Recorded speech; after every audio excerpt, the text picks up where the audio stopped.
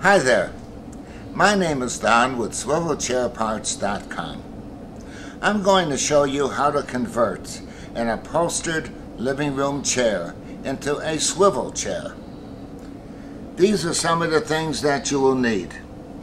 A plywood board, no less than 12 inches wide, and this one is 24 inches long.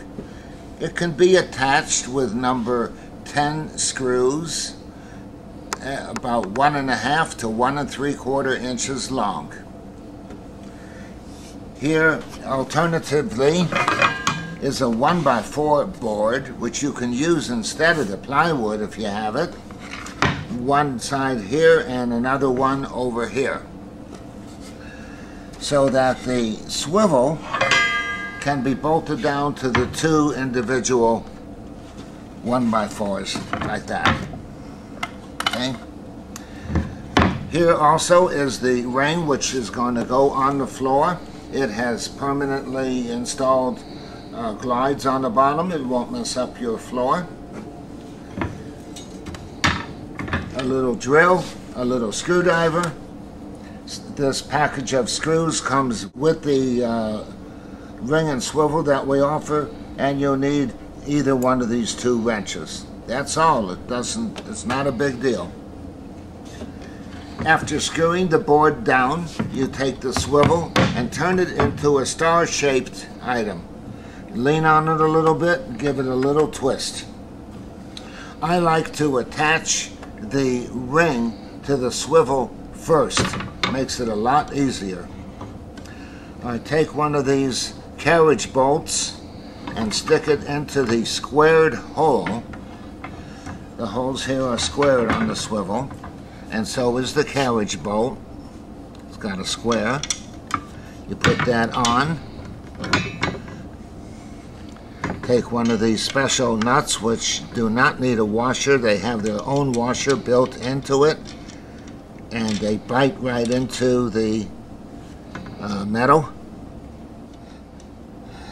And then proceed to do the same for the other three nuts. Okay, now I have attached all four and I'm just giving them the final checking to make sure that they're tight.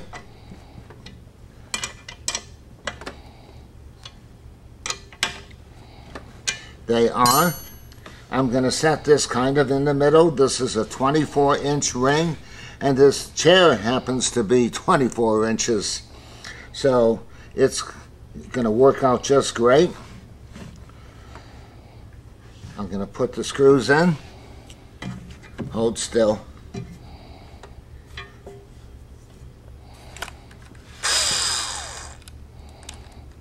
These are our mounting screws which come in the package.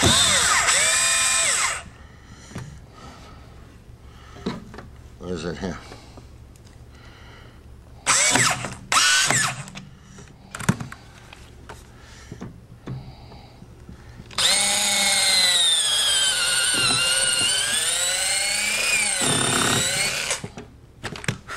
You do that to, for all four screws.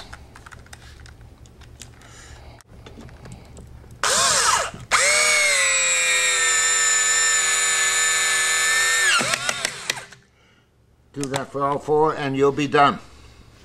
When you go to test out the chair, you may find that it feels it wants to roll to the back a little bit. If it does that, you'll need to take off the uh, ring and swivel, move it backwards a little bit, maybe an inch, maybe two if it's a whole lot, but move it backwards, put the screws back into the board, and it should be good. Conversely, you, it may feel like it wants to be tipping forward.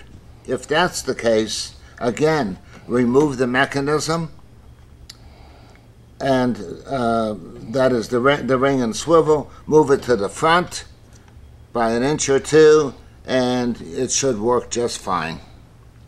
Thank you very much for watching this video. Good luck. Bye.